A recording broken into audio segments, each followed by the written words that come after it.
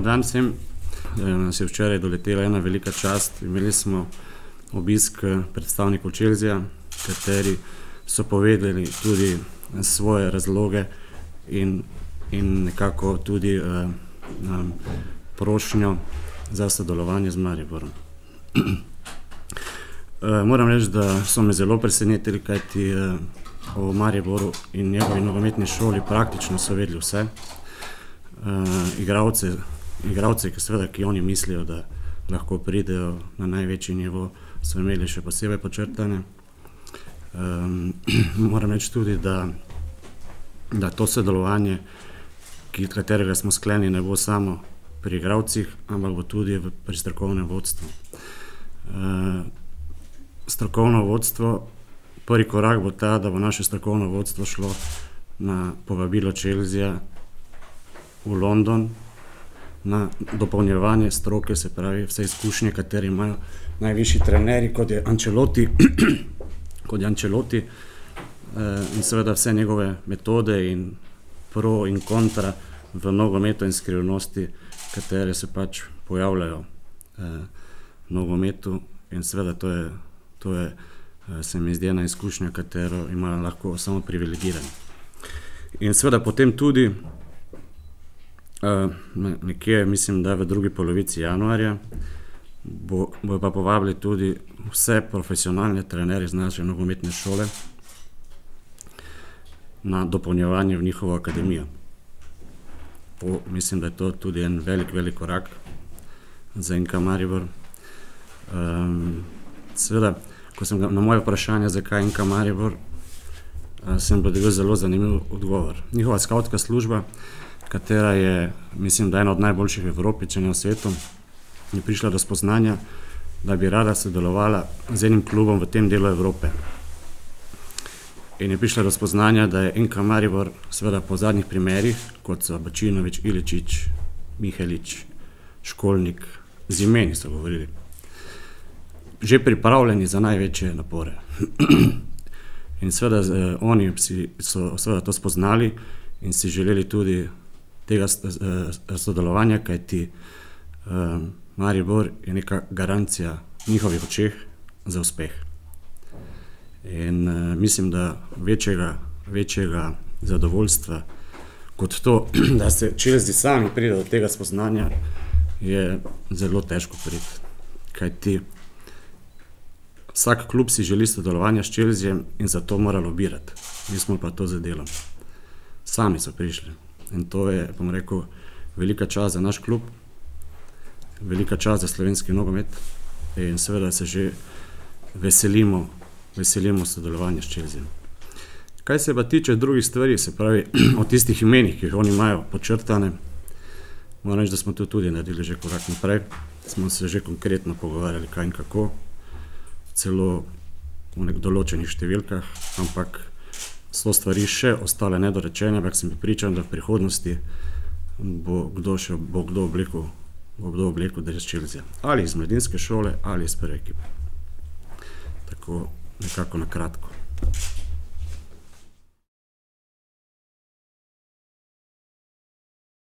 Ja, tega odtegnem še ne, več smo se dogovorili, nekako džentlmenski sporazum, da, da, da enostavno o tem ne bi govorili. So še mladi fanti ali v mladinski šoli, ali v prvi ekipi, so vse mladi. Ampak zanimivo je, koliko, da so imeli vse podatke, imajo vse. Rekel, človek je človek, je presenečen po eni strani, po drugi strani pa poslušaš to kar z velikim ponosom. No? Ker to, ni, to, ni, to so velike stvari. Tako da jaz sem pripričan, da bo to zgodba o uspehu. Seveda, po drugi strani pa, po drugi strani pa vse izkušnje, ki bomo jih imeli mi, seveda po strokovni plati, glede na to, da bo nam bo dana priložnost, uh, si ne samo ogleda njihovega strokovnega dela v vseh kategorijah, pa tudi v prvi ekipi, je tu zelo pomembno, da si bodo ti ljudje vzeli čas za naše, za naše trenerje. Se pravi, da enostavno včasih, uh, ali pa večinoma, večinoma spit kavo ali pa, ali pa celo iti na večerjo z enim trenerjem kot je Ančeloti, je dosti več kot si ogledati njegov trening. ker ti pove razloge, zakaj, ne. So stvari takšne, kot so tiste skrivnosti, katere je zelo težko priti. In to je to. To mislim, da bomo vsi imeli nekaj od tega, največ naši trenerji, seveda posledično pa tudi naši otroci oziroma prva ekipa.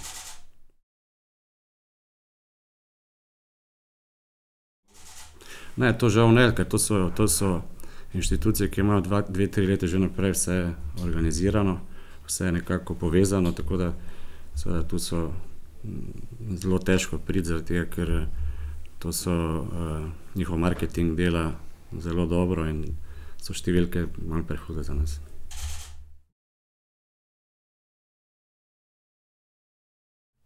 Ni, ni, ni, bom rekel, ni tu roka, enostavno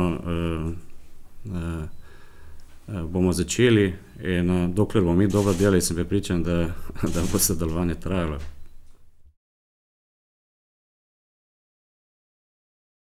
Pa dobro, jaz mislim, da ne bi to toliko, toliko menjal, bolj pomembno je, da je prepoznano delo celotnega kluba, vseh trenerjev, na koncu koncev tudi moje, tudi vseh ljudi v klubu, in da, ker ti ljudje, ki, ki, rekel, imajo skavtsko službo dosti večjo, kot je cel naš klub, in pa seveda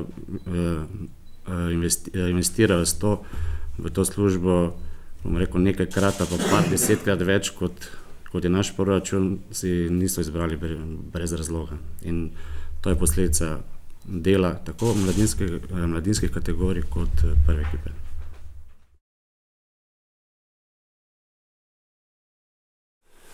Ja, sprejeli smo ponudbo za Sinišo.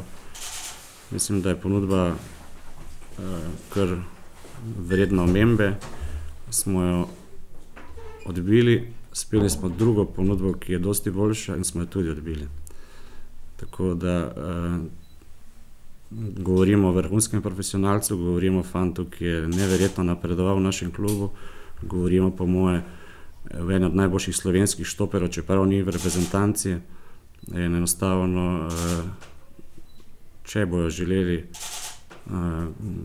Anđelkovića, bojo morali še malo dvigniti ceno.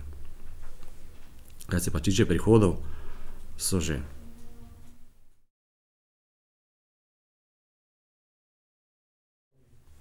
Ja, ni, ni dileme, da je to Italija in Španija. So odlični klubi. Enostavno naše mreže evropske se širijo, to, in to je tudi naš cilj.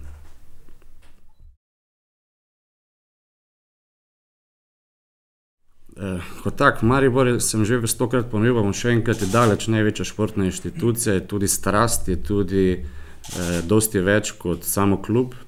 Enostavno mi ne želimo ostati na tem nivoju, ampak želimo napredovati in seveda to je sigurno ena od možnosti, da klub se še dvigne na kakšno stopničko več, kajti ne, v tem klubu delamo samo ambiciozni ljudje, enostavno tudi, in tudi trmasti, enostavno po tem takem delu, ki ga trenutno, ki ga trenutno opravljamo in smo ga opravili, je to ena velika nagrada in pokazatelj, da enostavno smo šli malo iz meja naše države še povsod, kajti naši fantje so tudi po njihovih besedah, in mislim, da pravilno, tehnično, taktično, psihološko, mentalno pripravljeni za največje napore.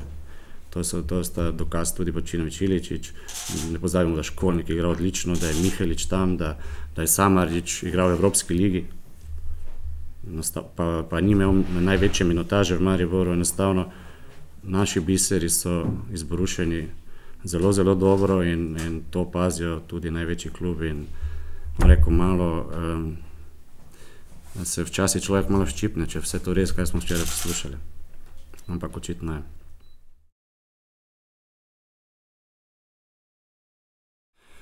Ja, Pavličič je odličen igralec, vrhunski profesionalec, ki seveda kot mnogi gre skozi eno fazo adaptacije, ki ni enostavna. Ima zelo tu veliko težave, čeprav je imel veliko smole, na začetku je bil poškodovan, je imel tudi poškodbe, katere so, niso nogometne narave. Enostavno ima probleme z adaptacijo, tako da so vse opcije odprte.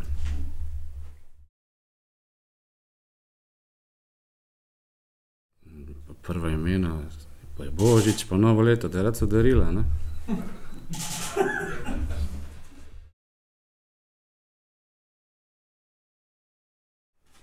Vsi, vsi, ki so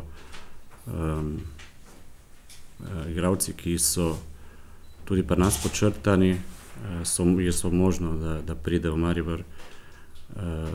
Velikonja trenutno njegova forma ne dovoljuje, ne dovoljuje, da bi bilokoga zamenjali iz NK Maribora z njim, čeprav je pa razmišljamo tudi o njem, kajti mislim, da je samo Maribor in naše delo lahko dvigne Velikonjo na tisti nivo, ki je bil prej, ker je vrhunski talent. Je pa tudi od njega odvisno.